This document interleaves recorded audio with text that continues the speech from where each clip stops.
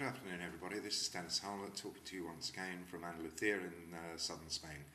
Uh, in a departure from the usual sort of things that I would talk about, uh, today I'm concentrating on the Nokia N95, the um, upmarket uh, uh, mobile phone that I acquired recently through eBay. Uh, the reason for that is that my good friend James Governor wanted to know if I still think it, it falls into the orgasmic area of uh, toys that are worth having? The answer to that short, uh, shortly is yes. Uh, subject to battery life, which really sucks if you're using GPRS capabilities a lot of the time. Um, this is a really, really good phone for um, the person who wants uh, something with all the bells and whistles, uh, but doesn't necessarily want a crackberry. Um, a couple of things that I've installed on that is Gmail and Fring. Um, I've written about both before, but Fring is a way of using uh, the data network, in other words, the GPRS network, uh, to both chat and to talk uh, to other people who are Fring enabled, or Skype users for that matter, um, without incurring data charges. So if you're on a, a rather restrictive uh, data plan, then this could be a good way to talk to other people. Um, Loic Le Meur reckons that Fring sucks. Uh, my experience is somewhat different. The other evening on the way home from Malaga, um, I was able to do a fring call without too many difficulties, apart from the uh, variability of the GPRS signal itself in the Andalusian mountains. Anyway, just to show you what I mean here, I've um, preloaded a couple of the applications, and what I wanted to show you is, is, that, is this particular capability here. You see, whoops, you see it searching for a wireless LAN. Now, I have a wireless LAN here in the office, and it's called default, so I'm going to select that instead of internet GPRS because uh, selecting the um, internal wireless LAN means that I'm not accessing uh, my data network. Okay, so there we go. And it's loading Gmail, and there you go.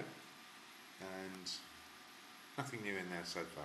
Okay, I'll just dump out of there, and I will now just flick over very quickly to Fring. And there, as you can see, by the way, um, both Fring and Gmail, and also Google Maps uh, are in the main menu. Okay, so just knock onto Fring, and if you have a look there, if you see there, whoops, sorry, I'm not very good at doing this, working back to front, I don't suppose many others are. Ah, there's James. See, James is now, whoops, James is on Skype, I imagine. See, there he is. Whoops. And if I wanted to, I could send a chat message to him, or I could do a voice message to him. Um, those are two of, the, uh, two of the main great features with this. And of course, with it being a Nokia, and uh, the Nokia N95 in particular, has got a really good camera. This one here, whoops, I've just uh, open the shutter. There you go, and turn it, whoops, to get it the right way around. And I can take a picture, which I've duly done. There it is.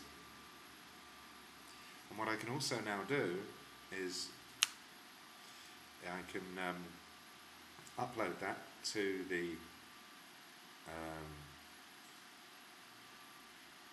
Flickr account. Now the way that we do that is to go to the gallery. It's a bit of a long-winded way of going about things, we go to the gallery, open up the gallery, images and videos. There's my image okay? And then I've got some options. Oh by the way have you noticed that it's gone round to this way? Because I've kind of not got it that way. Um, okay so with this I can select options and I can open an online service. In this case oops, my Flickr okay? And when I select that I can attach the photograph that I've just taken and upload it to Flickr. To me, that's a great little extra, nice little thing to be able to do. Also has Vox if you're into doing video recording, but quite frankly, I'm, I don't really understand that too much. Um, but those are three great features of the N95. As you can see, it's, it's not exactly a huge device. Uh, fits in the palm of the hand, uh, like that. Um, very, very lightweight compared to other uh, mobile phones that I've had. And all in all, um, a pretty good piece of kit. Um, as I say, the only thing that's, uh, that really sucks on it is battery life. and I rather suspect that when I'm in the UK next, I'm going to have to get a fresh one. Anyway, that's all for me. Hope that's helpful to you, James, and in the meantime, everybody else, goodbye.